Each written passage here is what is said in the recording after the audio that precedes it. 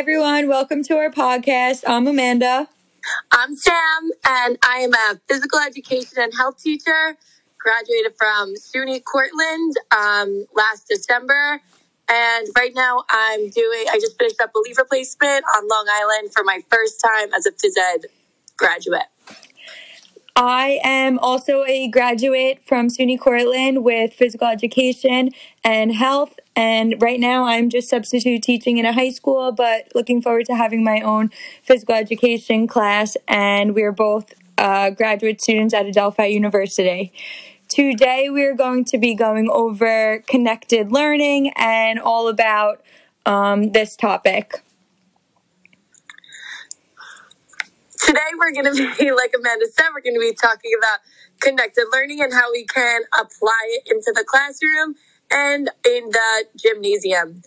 And Amanda, this could be something that you can have a lot of experience with being um, substitute.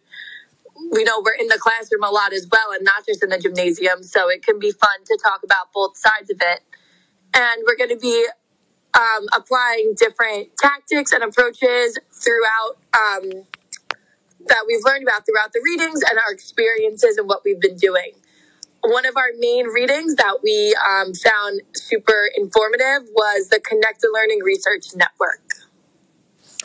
Yeah, so uh, one thing I wanted to touch upon was my take on connected learning. So, this is something that can be stretched and implemented in so many ways. Uh, connected learning has there's such a beauty behind it because it's not just one approach. Um, you're going to take students' interests and relate those to opportunities and relationships. And uh, one thing in that article that we uh, covered, the connected learning research based one, there was a chart and in the chart there was uh, the center was youth interest and then there was all these intertwined uh, connections that related to it and it just goes to show that connected learning can actually incorporate so many different aspects of life not only in the classroom but also um, outside as well some of those related back to home career school and the community and um, in each of those four categories was broken down into smaller subcategories. So it just goes to show uh, how much can really go on through connected learning. And uh, this really stood out to me because students in today's world, um, I see it actually in the classrooms while I'm subbing, they get so bored easily. So connected learning can be that way to incorporate um, a more engaging and effective learning environment. So definitely shows the importance of connected learning and how we can kind of reach our students on a different level. Um, so, Amanda, you're saying that there's um, way of teaching that can really focus on what students are interested in and not just what is supposed to be in the textbooks and be taught. Oh yeah, definitely. How fun! Okay, so do we think that everyone should be using connected learning? After reading connected learning in like week two throughout this course, um, there are a lot of things that stuck with us because of how it can really be used in any aspect in um, the educational settings. Because as phys ed teachers, not so much health, but um, a lot of specials are easily like pushed to the side or forgotten. So for something that can be easily related to our field is, you know, something that we get really excited about. So that's um, why we're so interested in this topic. Uh, like we said before, it's not only like one class focus. So everyone, every type of teacher across, you know, high school, elementary school, middle school, can find what their students are interested in and just build off of that and find out, you know, a variety of topics and then can bring that into um, their lessons. Like, you know, right now it's the holiday season, and we find that students are super excited about their holiday concerts and, you know, holiday breaks. So we definitely like bring that into the gym, whether that be like um, getting everyone excited with having Christmas music or having, you know, Christmas themed activities or in like the health setting, you know, bringing that in as well, how to be safe during, um, the holiday season and you know things to look um, out for.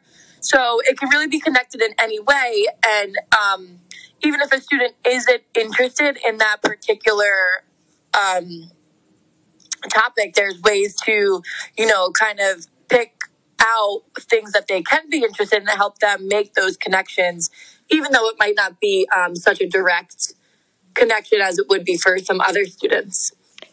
I like the point that you made about the holiday season and connecting that to uh, uh, your classroom because I was covering in the gym the other day and ever we have this, uh, I guess, uh, plan after Thanksgiving, as soon as that Thanksgiving holiday is over, that's it. Only Christmas music and holiday music. So we have students actually come down and request songs or uh, request to go on the speakers so that we can actually relate to them and um, incorporate the music that they're interested in. And you can just tell the kind of like the vibe is so right different. the change of the kind of uh, environment, it shifts from kind of them just coming into the gym, going through the motions to now they're actually into it and uh, ha- it just shows that they're having a better time. So yeah, we have like kids singing and dancing, and yeah, you know, it's, it's, exciting to have them not super structured, and you know have them have a little freedom, right, and express themselves in a different way, right. And you know that's the overall goal of phys ed, and we want them to be enjoying it while taking part of it. So connecting learning is definitely really important in our uh, career. Um, okay, so moving on.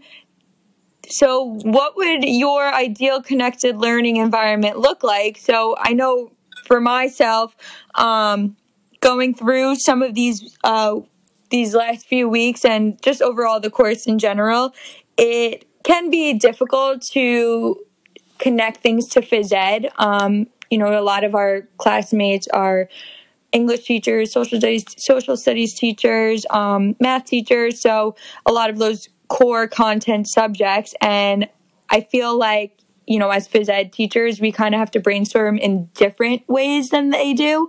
Um, do you, do you feel the same way? I do. It's it's right. sometimes a little bit challenging. Yeah. I, I feel like sometimes it, it, it doesn't come as easy, but uh, you know that's part of the process, and that's what we're here for. But as physical education teachers, it's our ultimate goal to help our students uh, make those connections to what we're teaching them and how they can use it not only in the gym during that class time, but also into the outside uh, real world. So it, you know, it doesn't always have to be a specific sport, but it could connecting learning can help ensure students how to live and maintain a healthy lifestyle because you know we have those students that aren't always so interested in phys ed or sports or um, physical activity but now or just shut down as soon as they come in the room exactly you know especially in the high school i've seen a lot of students in a way think um, they're too cool Oh yeah, participating is so lame. Right. So you know, if we take those students' interest and put that into consideration, now we're kind of reaching them on a different level. Um, also, another, um, it was kind of like a chart diagram that I came across in the connected learning um, research article. It was talking talking about shared practices and the design principles within that was collaborative production, friendly competition, civic participation, and joint research, which kind of all of these categories just reminded me of phys ed because you know you're collaborating with your peers whether it's taking part in friendly competitions. Right now i know my school is doing a volleyball unit so you know they're doing friendly co- competitions in volleyball with it with uh, their peers. And you know it's just creating that engaging but organized environment that they want to take part in. So that definitely stood out to me as I was um, going through that.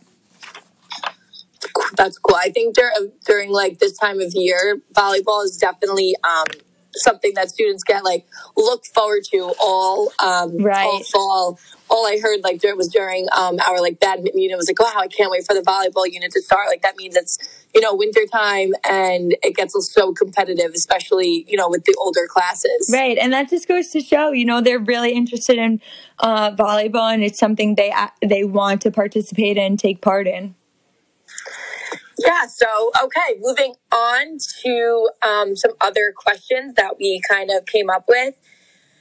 Um, what are some ways to incorporate connected learning in phys ed? So, you know, like we said before, taking students' interest, like especially like we said during the holiday season, you know, bringing that music yeah. in or like that theme. Um, however, you know, there's other as um, other aspects as well. I think when you have you know a good relationship with a lot of your students, you already know what like things they're interested in, like what kind of sports they do or extracurricular activities, whether that be you know um, just things for fun. And you can kind of always keep those in your back pocket. But then for students that, you know, engage in football outside of um, the gym, they can always, you know, help you out during those lessons. And that can, you know, bring in a sense of like responsibility for them throughout um, class and it can you know make other students be a little more interested that they want to learn from their peers and in that aspect. But also there's a big side of phys ed that um, you know that you can connect to the outside world which is like things like nutrition or cpr training. Those are both things that you know we like to focus on especially um, throughout like the winter season when when winter seasons when gym space is a little more tight. Oh, that's a good so, point. Like, yeah. Yeah, bringing like nutrition units into it. I remember like in fourth grade we did one and like when I was in fourth grade and it stuck with me, you know, to this day about like serving sizes and you know, you don't really realize things like that. So right. you know, bringing that into um the gym and having them make those connections that they can you know, I think especially with the younger students, they get excited to like bring home because they get to like share with their families, you know, things that they learned and things that their families might not even know. Right. And, you know, at, at, uh, especially at the young age, it's so important to kind of tie these topics and critical components into things that they're interested in because like you said in fourth grade that stuck with you so your teacher did an awesome job um, yeah, like bringing like what's your favorite snack, and then right. like, I think I remember the actual serving size. Actually, I want to say at Cortland, if I remember correctly, one of the professors had us bringing in like cereal, like your favorite cereal or something. And do you remember that class where they showed us the actual serving size of peanut butter? Right, right. So it's like things that really stick out to you, and you're like, oh, peanut butter. I really love peanut butter, but now I'm actually seeing um, how much how of a serving size have. I should really have. So it really sticks with you when you make these connections in like a different different way. So yeah. Yeah, and it can enhance like the overall understanding of it because they're not just listening to you, but like things that they can actually like engage with. Like I said, like the CPR, you know, you're not gonna. It's hard to forget things that like you're actually doing, right? Whether instead of just like learning about it, right. All right. Well, moving on uh, to the next topic, I would say, oh, so I took connected learning and I compared it to two different things. One was learning styles, which we actually talked about in another class, but it kind which, of side note, that was crazy to me that there are like not learning oh, styles. right. They're they're uh, misconceptions, uh, learning yeah. styles. Yeah, that was definitely I feel like we could do a whole podcast on that. yeah, mind blown. but yeah, so I I tied connected learning into into learning styles, and then also um, 21st century skills. I'll I'll get to that in a second. But you know, we learned in another class that learning styles are actually a misconception, and your typical uh, audio, visual, um, hands-on learning approaches, style approaches that we all thought we had actually don't exist. So, but now, you know, learning about connected learning, it actually makes sense because we're definitely starting to see this come into a full circle. Because if you use connected learning to spark students' interest and the opportunities and relationships, we could target their learning in all kinds of ways as opposed to just oh, there's the student's a visual learner. Um, you know, meaning that if we incorporate teaching styles and approaches that include connected learning techniques, we're actually reaching out to these students in all different styles, as you would say, as opposed to just one. Um, and there was a TED talk called Learning Styles and the Importance of Critical Self Reflection that Tesia Marshik um, presented. And that was actually a crazy video, really interesting. Um, she was like a really good speaker too. She made it like engaging the entire time. Oh yeah, I actually like couldn't not watch it. I was so I was so engaged. Um, but yeah, so that was definitely tied to another class, but um, incorporated into this that that just something I thought about. And then another thing we talked about um, in the beginning of the semester was Soule and Warrick's defining 21st century readiness for all students. That article we came across, I think it might have been even the first week. Um, and we kind of tied it into each week the four C's um, creativity, critical thinking, collaboration, and communication. I feel like um, a lot of the assignments and things we talked about throughout related back to that and it was always like tying it all together every single week piece by piece so this was yeah. definitely just you know another thing to add on to it but it just goes to show connected learning um, can actually emphasize those survival skills that they talk about and the whole goal is to prepare these students for success in not only the classroom but also the real world so why not use connected learning to target the four C's. So um, I think it's something that all teachers should definitely develop and implement into the K through 12 schools to help set our students up for success. Do you agree? Yeah, but like imagine what it would be like if, you know, this started from like the K level and then continuously built up all the way to 12. Like, like everyone be more on the same page and everyone would, you know, kind of have those like have those lessons that kind of stick with them instead of I mean, guilt. I'm guilty of it. Just things that we remembered for tests, and then we took the test, and then never thought about it again. Yeah. Um.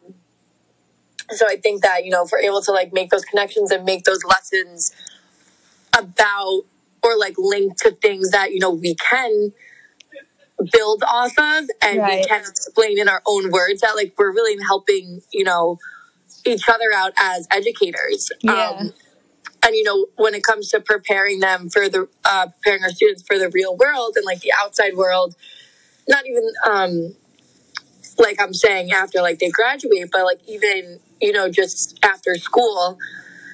Um, like we said, you know, things like um, nutrition and um, how to, you know, be a good teammate or how to clean up um, equipment or how to handle equipment properly, like all those things that you are able to connect. Like, oh, do you think, um, you know, the varsity coach would be happy to hear that, you know, so and so can't clean up? So, like, things like that. Then they're going to be like, oh, like, you know, that kind of sticks with them, although it's right. in maybe like a little threatening way. but you know, that they're gonna think about it and like use that as a learning experience. Oh yeah. So it's not the same, I guess, aspect that like connected learning is saying, but it's things that will stick with them, and then you know maybe things that they learn throughout that day will stick with them as well. So basically, what I think I think what we're kind of tying in and wrapping up is uh, overall connected learning has such a significance um, and benefits within the classroom with our students um, and preparing them for the outside world and just so much more.